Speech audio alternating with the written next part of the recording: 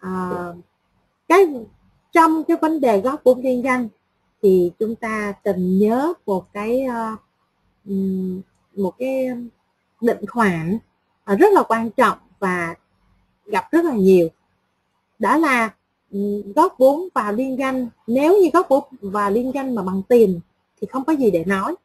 Nhưng nếu góp vốn bằng tài sản thì chắc chắn sẽ có một cái sự chênh lệch giữa cái giá gốc của cái tài sản góp vốn và cái giá mà do cái hội đồng liên danh họ đánh giá. Ví dụ như chúng ta đem đến liên danh đó ta góp bằng một lô nguyên vật liệu, thì cái giá mà trị trên sổ sách của lô nguyên vật liệu đó có thể là 100 triệu. Nhưng mà khi đến hội đồng liên danh thì hội đồng liên danh thì đánh giá là ừ, 98 triệu thôi chẳng hạn. Như vậy thì rõ ràng là chúng ta, nếu chúng ta chấp nhận góp vốn vào thì chúng ta đã bị lỗ mất 2 triệu. Vậy thì chúng ta sẽ phản ánh như thế nào? Và ngược lại, nếu như um, giá trên sổ sách của nó là 100 triệu nhưng mà hội đồng liên doanh họ đánh giá là tới 105 triệu. Thì cái chênh lệch 5 triệu đó sẽ phản ánh ra sao? Thì đối với phần góp vốn liên doanh thì các anh chị ôn tập các anh chị cần ghi nhớ những cái đặc điểm trong cái um, cái học toán của nó.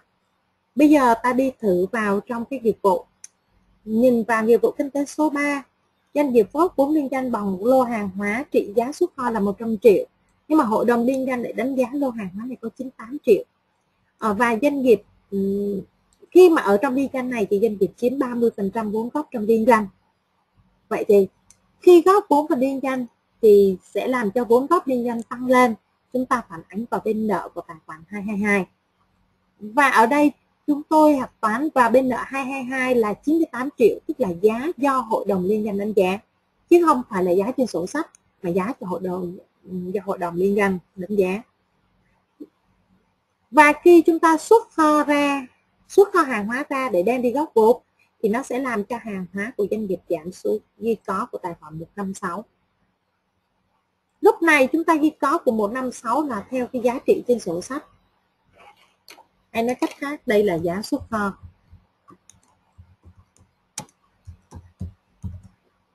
Giá xuất kho. Vậy là chênh lệch.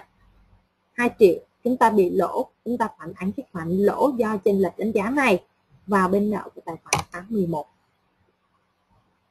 nhưng mà ngược lại, nếu như mà hội đồng liên doanh này đánh giá 105 triệu, thì doanh nghiệp được lợi 5 triệu đồng.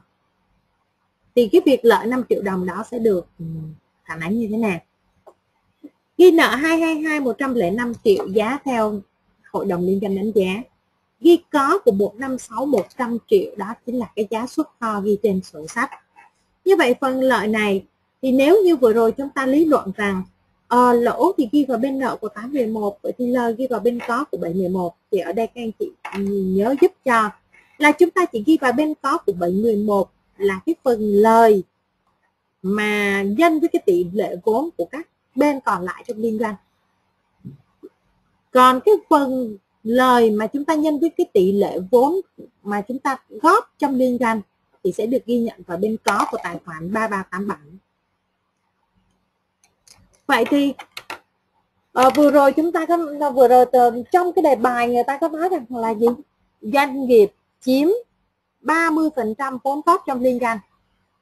Vậy là các bên còn lại trong liên doanh sẽ chiếm 70% vốn góp vậy tôi sẽ phản ánh vào bên có của tài khoản 3387 là 5 triệu nhân với 30% còn tôi sẽ phản ánh vào um,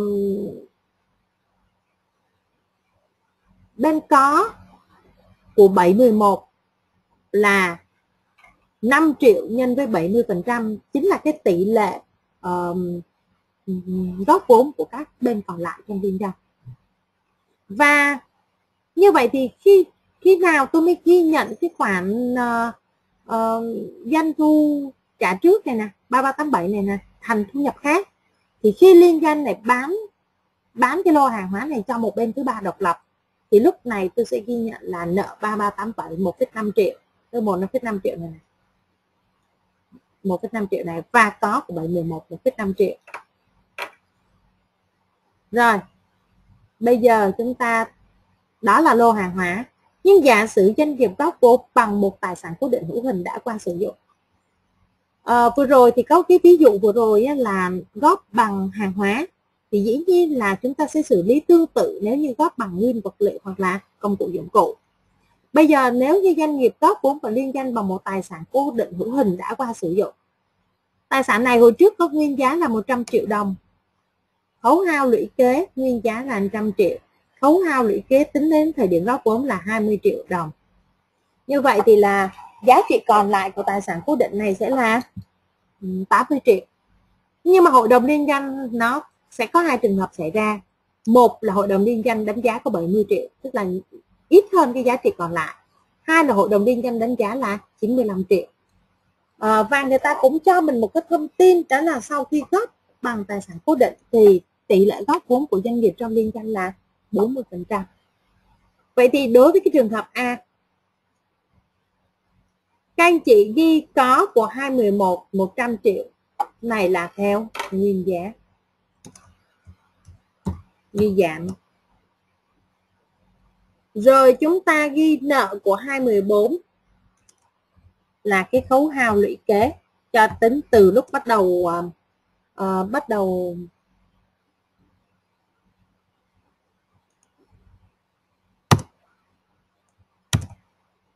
từ lúc bắt đầu um, sử dụng cho đến thời điểm góp vốn là 20 triệu đồng. Như vậy thì giá trị còn lại của nó là 80 nhưng các anh chị ghi vào bên nợ của 222 này là theo giá theo đánh giá của liên doanh. Giá của liên doanh là 70 như vậy chênh lệch giá trị của mình là 80 mà người ta chỉ đánh giá có 70 vậy là mình bị lỗ về khoản lỗ đó chúng ta ghi nợ của tài khoản 811 chi phí tài chính. Xin lỗi, chi phí khác. Nhưng mà trường hợp B thì cũng tương tự như vậy, nhưng mà chúng ta nhớ rằng là gì? Cái khoản lời giá trị còn lại của chúng ta là 80 nhưng người ta đánh giá là 95 vậy thì cái khoản lời của chúng ta ở đây sẽ là 15 triệu, nhưng chúng ta chỉ ghi vào 711 sao? Theo tỷ lệ vốn góp của các bên khác trong liên doanh.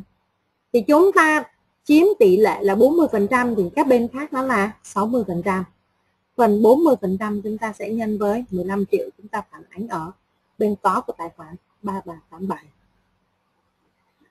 nhưng mà khác với việc góp vào góp tài sản góp bằng tài sản vào công ty um, góp bằng tài sản vào cái công ty liên doanh và liên doanh thì góp vào công ty liên kết công ty con đó, nó có một cái khác đó là gì?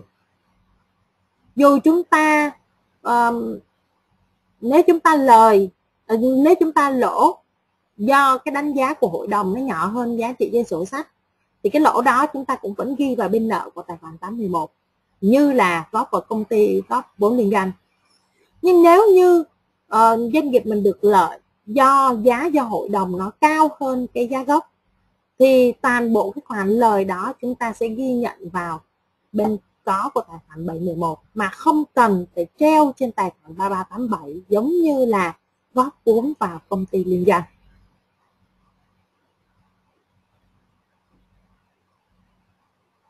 Và tương tự như vậy thì các anh chị thấy là um, cũng tham khảo cho vấn đề là gì khi mà chúng ta uh, góp vốn bằng tài sản cố định hữu hình cách làm tương tự.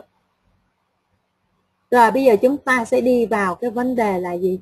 Dự phòng giảm giá đầu tư chứng khoán ngắn hạn, dài hạn.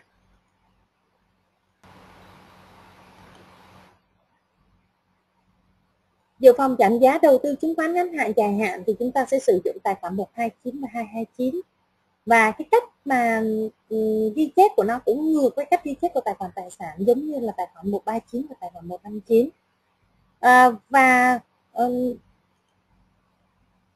như vậy thì cũng trả lời cho cái câu hỏi là khi nào thì chúng ta sẽ tiến hành lập dự phòng giảm giá đầu tư chứng khoán ngắn hạn? Thì đó là thời điểm trước khi chúng ta lập báo cáo tài chính. Bây giờ xác định được cái um, mức lập dự phòng là bao nhiêu và định khoản nó như thế nào? Bây giờ chúng ta đi vào giải quyết trình ví dụ luôn. Bây giờ năm 5N thì doanh nghiệp mới thành lập. Như vậy để điều đó để cho thấy là ừ, để cho là số dư đầu kỳ của tài khoản 129229 bằng không. Bây giờ trong năm N thì doanh nghiệp đầu tư ngắn hạn 1.000 cổ phiếu A với giá 20.100 và 5.000 cổ phiếu B với giá 24.120 bây giờ cuối năm N, người ta thấy rằng là giá cổ phiếu A trên thị trường là 21.000 đồng. Như vậy A hồi trước đầu tư 20.100 bây giờ lệ giá trên thị trường là 21.000 đồng điều đó cho thấy là cổ phiếu A không bị giảm giá. Và như vậy chúng ta sẽ không cần trích lập dự phòng cho A. Nhưng mà cổ phiếu B trên thị trường thì giá 20.000 đồng trong khi giá vốn gốc của chúng ta là 24.120 như vậy chúng ta, nó đã bị giảm giá 4.120 đồng trên một cổ phiếu. Mà nhân với cái lượng cổ phiếu chúng ta đang nắm giữ là 5.000 thì cái mức mà giảm giá nó là tới 20,6 triệu đồng. Như vậy thì ở đây chúng ta sẽ ghi nợ của tài khoản chúng ta tiến hành trích lập là nợ của tài khoản 635 có của tài khoản 129 là 20,6 triệu đồng. Và lúc này tài khoản 129 sẽ có số dư cuối kỳ bên có là 20,6 triệu đồng. Thì ở đây chúng ta sẽ thấy một cái điều đó là gì? Nếu chúng ta dự phòng giảm giá hàng tồn kho thì chúng ta sẽ có cái cặp tài khoản là 632 159 đúng không ạ? Nếu chúng ta dự phòng phải thu khó đòi thì chúng ta có cặp tài khoản 642139. bây giờ chúng ta dự phòng giảm giá đầu tư chứng khoán thì chúng ta có cặp tài khoản 635129. À, 129 hoặc là 229 tôi làm 129 như vậy thì sẽ tương tự giải quyết tương tự cho 229 bây giờ đầu năm N cộng 1 thì doanh nghiệp đang có là 1.000 cổ phiếu A với giá này và 5 ngàn. Và cũng đang trích lập dự phòng cho cổ phiếu B là 20,6 triệu đồng. Bây giờ 5N cộng 1 diễn ra như thế nào? À, chúng ta đầu tư ngắn hạn thêm 4.000 cổ phiếu C nữa.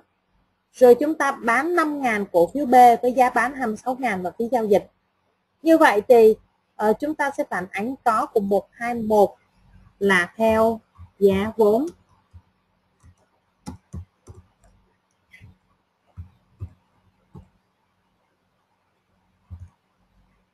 Còn nợ của tài khoản 112 là theo giá bán.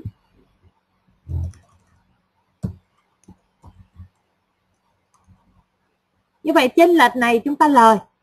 Giá vốn của chúng ta là có 24.120 mà trong khi đó giá bán của chúng ta bây giờ là 26.000 như vậy chúng ta lời, chúng ta phải